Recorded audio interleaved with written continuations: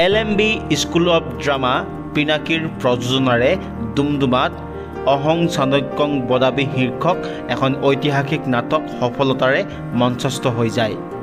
ভাৰত বুৰঞ্জীৰ এক অন্যতম চৰিত্ৰ বিষ্ণুগুপ্ত ওৰফে চাণক্য ওৰফে কৌটিল্যৰ জীৱনৰ আধাৰত নাটকখন ৰচনা কৰিছে বিশিষ্ট নাট্যকাৰ পৰিচালক আৰু অভিনেতা জয় সূৰ্য বৰাই।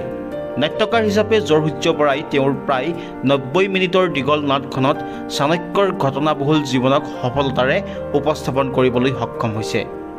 লগতে সীমিত সা সুবিধাৰ মাজেৰে এনে এখন ঐতিহাসিক নাটক মঞ্চস্থ কৰাত পৰিচালক হিচাপেও জয় সূৰ্য বৰা সফল হৈছে। নাটখনৰ আৰম্ভণিতেই নাট্যকাৰগৰাকীয়ে উল্লেখ কৰে যে আমি কোনো বিতৰ্কৰ ৰূপ দি এই নাটকখন সৃষ্টি কৰা নাই।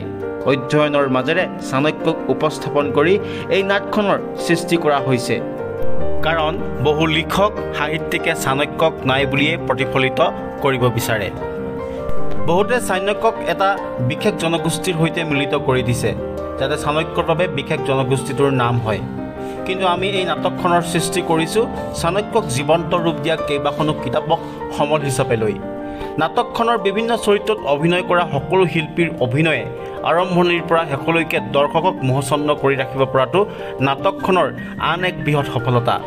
বিশেষকৈ মুখ্য চৰিত্ৰত অভিনয় কৰা সুভাষিষ মল্লিকে চাণক্যৰ চৰিত্ৰটো ফুটাই তুলিবলৈ চেষ্টাৰ কোনো ক্ৰুটি কৰা নাই।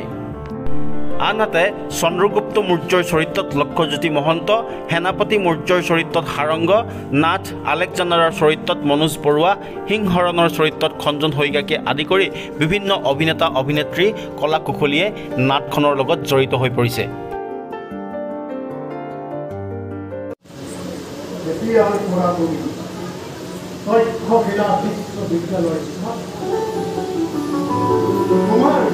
তোমাৰ নমস্কাৰ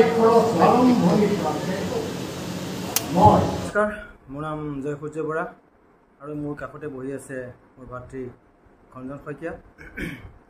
যোৱা পাঁচ আগষ্ট দুহেজাৰ তেইছ তাৰিখে ডুমডুমা মহাবিদ্যালয় কল্লোল প্ৰেক্ষাগৃহত অহং চাণক্যং বদামী নামেৰে এখন নাটক আমি প্ৰদৰ্শন কৰিলোঁ। ইয়াৰ অৰ্থ হ'ল মই চাণক্যই কৈ আছোঁ। নাটকখিনিৰ ৰচনা আৰু পৰিচালনা মোৰ নিজৰেই। নাটখনি সফল ৰূপায়ণৰ বাবে প্ৰথমে মই ধন্যবাদ জ্ঞাপন কৰিব লাগিব। মোৰ কাষত বহি থকা ভাতৃ খঞ্জন শইকীয়াক কাৰণ নাটখনিত যিমানবোৰ সামগ্ৰীৰ প্ৰয়োজন হৈছে সম্পূৰ্ণ সামগ্ৰী তেওঁ নিজ হাতেই গঢ় দিছে।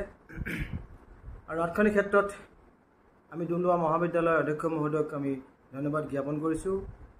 কলেজৰ ব্যক্তিগত প্ৰেক্ষাগৃহত আমাক নাটখনি কৰিবলৈ দিয়াৰ বাবে। আমি ধন্যবাদ জ্ঞাপন কৰিছোঁ।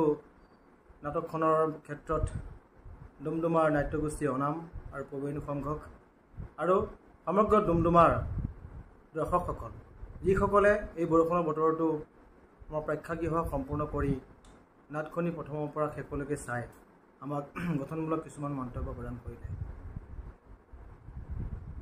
ৰূপাইস্থিত এল এম বি নাট্য বিদ্যালয় পিনাকীৰ প্ৰথম নিবেদনীয়া আৰু পিনাকীৰ উদ্দেশ্য হ'ল অভিনয়ৰ মাজেৰে অভিনয়ৰ মাজেৰে নৱপ্ৰজন্মক এটা ব্যক্তিত্ব প্ৰদান কৰা আৰু এজন সুনাগৰিক কৰি গঢ়ি তোলা। এই নাট্য বিদ্যালয়খনৰ প্ৰতিষ্ঠাৰ ক্ষেত্ৰত মই ধন্যবাদ দিবই লাগিব। মোৰ বন্ধু আৰংগনাথ মোৰ ভাতৃ খঞ্জন শইকীয়া আৰু মোৰ সহধৰ্মিনী বিজয়া গগৈ। আমাৰ এলুমি নাট্য বিদ্যালয়ে সদায় যত্নত থাকিব। নৱপ্ৰজন্মক আৰু এই সমাজখনত একোজন সৎ সুনাগৰিক আৰু সুৰ ব্যক্তিত্বপূৰ্ণ ব্যক্তিক প্ৰতিষ্ঠা কৰা ডিব্ৰুগড়ৰ পৰা ৰক্তিম দাসৰ প্ৰতিবেদন লোকেল এইটিন কিন্তু এটা কথা মগধ আৰু পিপলিবনত চন্দ্ৰগুপ্তক তেওঁৰ মাতৃ মূৰাদী ককায়েক অদন্যৰ পুত্ৰ বুলিহে জানে। নহ'লে ধনানন্দই চন্দ্ৰৰ প্ৰাণ ল'লেহেঁতেন। আহোকে প্ৰচাৰ এৰা মূৰাদেৱী আৰু দাসীবৃন্দাই এই প্ৰচাৰ অতি সাৱধানেৰে কৰি পেলাইছে। দেৱ আপুনি কিন্তু তথ্যশীলালৈ আহি থাকিব লাগিব। মগধৰ প্ৰতিটো খবৰ মই নিশ্চয় পাম। এই ক্ষেত্ৰত আপুনি সেনাপতি ভাগুৰাই নকৰক কৰক। তেওঁ এজন ভাল গুপ্তচৰ আৰু লগতে সিদ্ধাৰ্থ নামৰ বাকৈত গুপ্তচৰজনকো আপুনি হাতত ৰাখক। উত্তম উত্তম পৰামৰ্শ দেৱ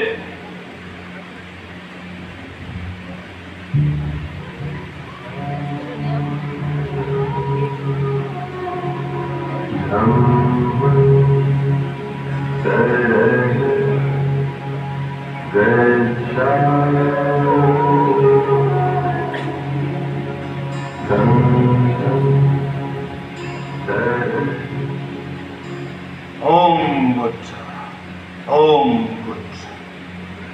চেলুকাছ শুনিছোঁ আলেকজেণ্ডাৰৰ মুখ্য সেনাপতি চোৰাংচোৱা আৰু ভাগ্য বিধাতা আৰু তেওঁৰ পুত্ৰ প্ৰথম এণ্টিপাছো হেনো মহাপৰাক্ৰমী?